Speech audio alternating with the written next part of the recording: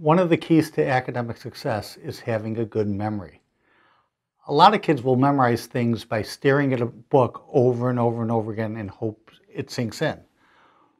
When I was young, I started memorizing things in fun mnemonic ways, and I still do today. When I wanted to memorize the presidents of the United States, I put five presidents into each sentence, and then I memorized the sentences. And then it was easy to recall the presidents.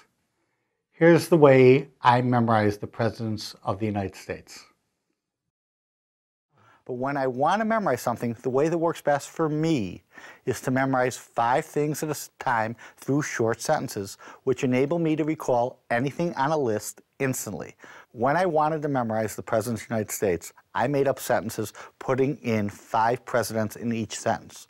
Then if I wanted to recall, say, the 28th president, which is Woodrow Wilson, all I would have to do is recall sentence number six, which contains presidents 26 through 30.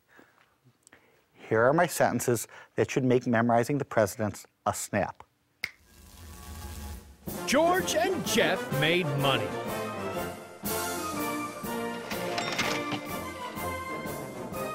Quickly, Jack drove the van to Harry's tie shop. He poked Zach and said, fill up the pair of cannons.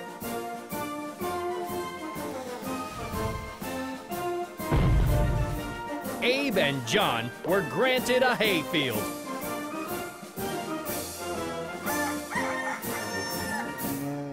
Arthur went to Cleveland with Harry. Cleveland, no kidding.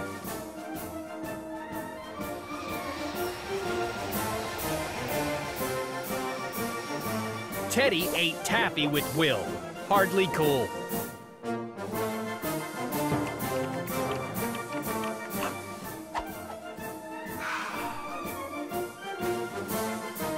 Who did Frank tell the truth to? Howard and Kenny.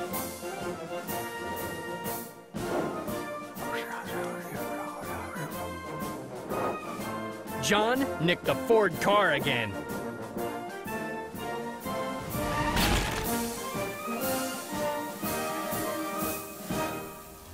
So now, Zach, if I would say to you, sentence number four, Abe and John were granted a hayfield.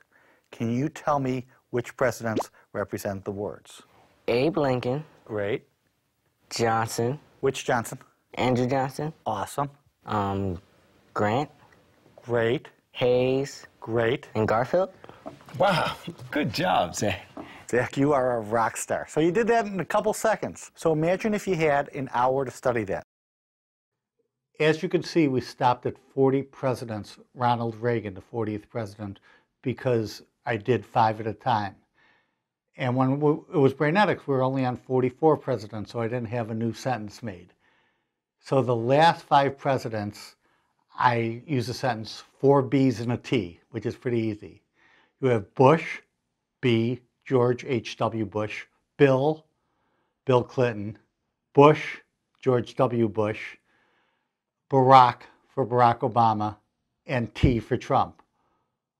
Bush, Bill, Bush, Barack, Trump. Four B's and a T.